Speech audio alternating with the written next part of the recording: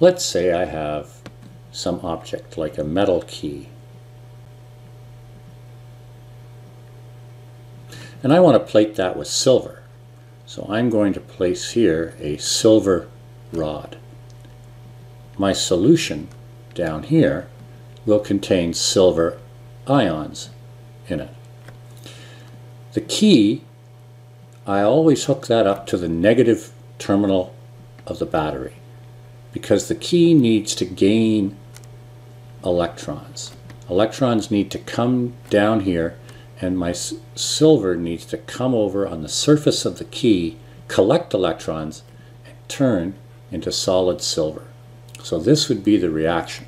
Silver ions picking up those electrons and turning into solid silver on the surface of that key. Over here at this electrode, the silver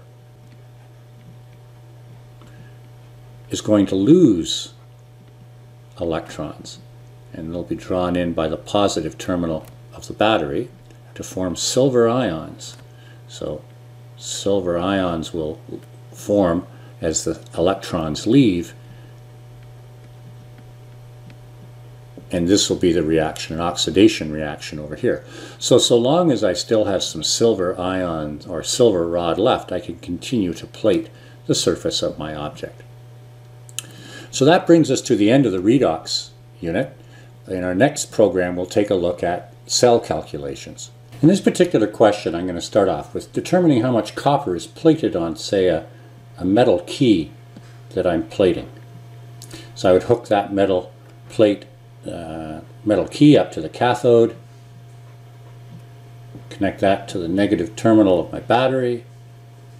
A positive terminal of my battery would be connected, say, to a copper rod and I would have a solution that contains copper ions in it and those would move over here, pick up electrons and turn into solid copper on the surface of my key. My question is how much copper will be deposited on the key when it's operating with a certain current over 30 minutes. First thing I need, as with most stoichiometry questions, is a balanced equation.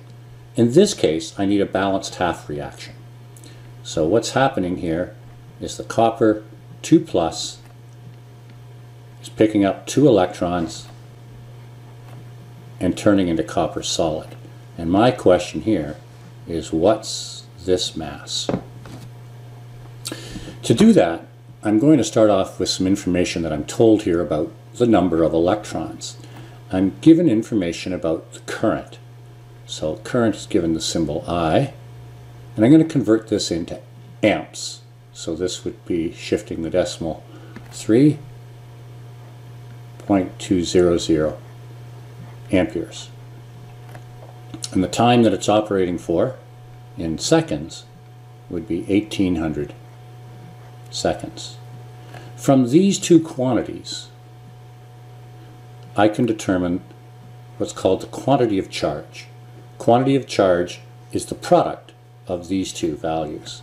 So the quantity of charge, by multiplying these two together, I arrive at 360 coulombs of electric charge have moved. I'm now going to convert that information into moles. And to do that, I divide by Faraday's constant.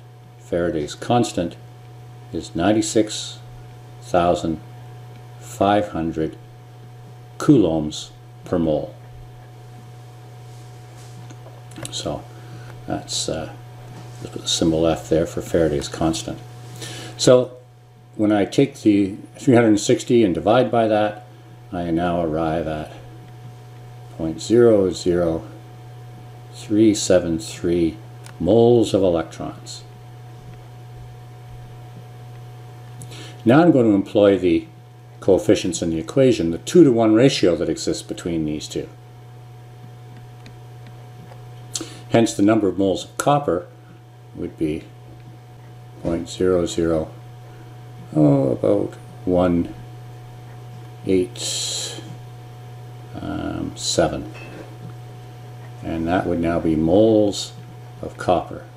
And now we convert that into grams of copper multiplying by the molar mass of copper, 63.55 grams per mole. And that then gives me the answer up here, and we arrive at uh, about 0.12 grams of copper being deposited. So this second half is somewhat familiar. What's new is what we're doing here. So there's two relationships that we'll employ. One is to determine the quantity of charge as the product of I times T, and then to convert quantity of charge into moles, we divide by Faraday's constant.